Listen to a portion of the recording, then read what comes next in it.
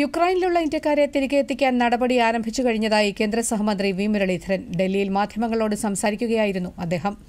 മലയാളികളടക്കം തിരികെ എത്താൻ ആഗ്രഹിക്കുന്ന എല്ലാ ഇന്ത്യൻ പൌരന്മാർക്കും ആവശ്യമായ സൌകര്യങ്ങൾ വിദേശകാര്യ മന്ത്രാലയം ഒരുക്കുമെന്നും കേന്ദ്ര സഹമന്ത്രി വ്യക്തമാക്കി.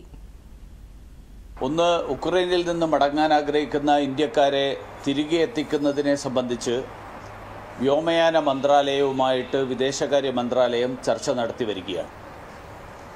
അതോടൊപ്പം ഇന്ത്യയിലെയും വിദേശത്തെയും വിവിധ എയർലൈൻ കമ്പനികളുമായും വിദേശകാര്യ മന്ത്രാലയം ചർച്ച നടത്തുന്നുണ്ട്.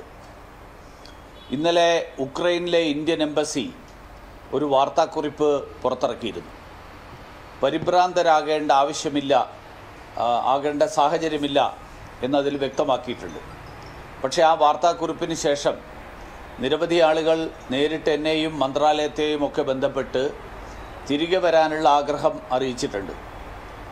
അവിടെ പ്രത്യേകിച്ച് പതിനെണ്ണായിരത്തിലധികം ഇന്ത്യക്കാരായിട്ടുള്ള വിദ്യാർത്ഥികൾ പഠിക്കുന്നുണ്ട്. അതുകൊണ്ട് അവരുടെ മാതാപി അവരുടെയും അവരുടെ മാതാപിതാക്കളുടെയും ഒക്കെ ആശങ്ക കണക്കിലെടുത്തുകൊണ്ട് വിദേശകാര്യ മന്ത്രാലയത്തിൽ ഒരു കൺട്രോൾ റൂം തുറക്കാൻ തീരുമാനിച്ചിട്ടുണ്ട്.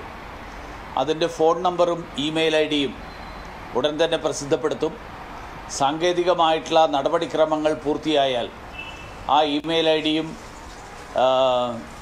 ഫോൺ നമ്പർ പ്രസിദ്ധപ്പെടുത്തുകയും അതിൽ എല്ലാവർക്കും ബന്ധപ്പെടാൻ സാധിക്കുകയും ചെയ്യും.